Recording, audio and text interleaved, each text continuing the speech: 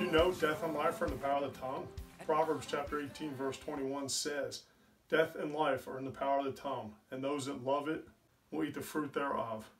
When you speak, you're either speaking life or death, blessings or curses. Think about what comes out of your mouth today. Are you speaking life or death? You should be speaking life. Speak blessings over people. Stop cursing people with your words.